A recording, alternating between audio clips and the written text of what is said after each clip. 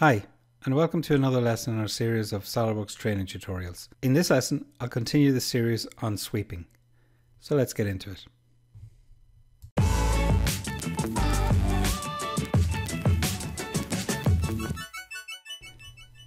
Okay, so in this exercise, we're going to use the style spline and sweeping features. So let's start by creating a new model using the metric template. And I'll open a sketch on the top plane. So the first couple of lines I'm going to draw are construction lines. So I'm going to do that midpoint line and I'll make it for construction. Make it horizontal and then I'll just do a construction line then from the middle straight down and then I'll dimension them. So this one's going to be 28 millimeters and then this one will be 28 millimeters. And that gives me a framework for my style spline. So come up here and select a style spline. And if I select that point come straight down. Now you'll notice a vertical looks like a vertical relation added but it's not actually added it's just inferred so we're going to have to add those later on, and even that one horizontal and perpendicular. So we'll have to add those in in a second. I'll show you what I mean.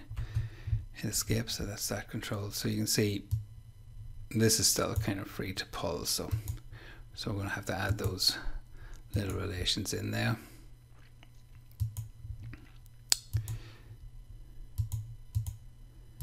So you've got that going on. And then if I just hide that and make that coincident. And that gets me a fully defined sketch on that. Next we're going to insert a couple of control vertex points. So if I right click on either the ellipse or the frame it doesn't matter. We can insert a control vertex and just pick a point. I'm going to just pick a point roughly there and around about there same point on the far side. And you can see we've our frames kind of just behaving a, a little bit on us misbehaving on us so we need to kind of control those. So if I just make those two points horizontal and then if I zoom in so if I just hold control down and click on that line and just the endpoint of that and make that coincident on that. So you can see it's still so still pull it way on me there so I need to make this line horizontal. And we're nearly there then so because this is not controlled and you could leave it like that and stretch it to whatever looks suitable but let's make it uh, nice and even. So first of all I suppose we just make it symmetrical so. If I select that point the line and that point and we make those symmetrical. We get that. And then just pop in the dimension then. So let's just make that. Maybe 105 something like that. Just to pull that in. And you know it's really kind of up to you what what end shape you're really looking for on that. But it's we've got our um we got our uh, spline style spline um, fully defined then at that. So I'm gonna exit my sketch at that.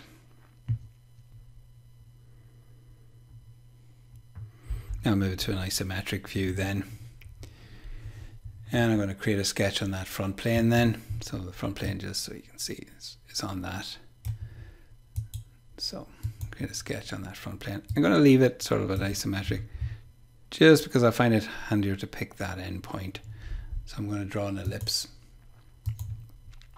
And it's just easier to pick that and then just going vertical and on that. And then I can pop in my dimensions. So that's going to be 15 and that's going to be 8 and then we can make them two horizontal to fully define that sketch. I'm going to exit the sketch after that.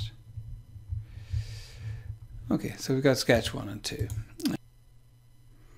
So once we've got those created, I'm going to now create a little sweep and the profile itself. So see, so this uh, the profile is actually going to be this part and the sketch I kind of had it pre-selected so it's kind of populated in but the sketch um, for the profile is that first sketch that we've done and just click OK on that. And you've got your nice little sweep going along there. Next we're going to create the little foot so I can spin this around and just do a sketch on that surface zoom into it. And now if I just do offset entities and it's 4 mil. Click OK on that. And then we'll exit the sketch and extrude. So we want to extrude in this direction. And I think it's going to be 3 mil. And you got merge results so we can click OK on that. And then a couple of fillets then. So we've got a fillet. And it's a 4 mil fillet on this edge. And apply that and then create another fillet. And just zoom into this one because there's two little lines very close or the arcs very close to each other. So just click on that the one at the base of the sweep. So that one. And we're just going to make this 1.5 and click OK on that. And that's that. And then we're going to just mirror that to complete this part. So we're going to mirror and the mirror face of plane is going to be the right plane. So and in the middle of that.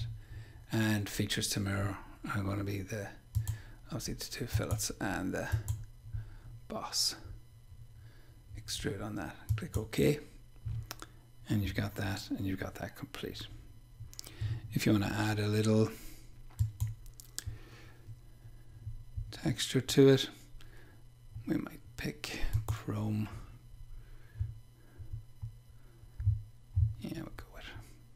brushed chromium pop it on that and you know make it at the at the part level and get a nice little brushed finish on that handle that's the part complete and you just save that out Thanks for watching this tutorial and don't forget to hit that like button and subscribe if you can please. See you again soon.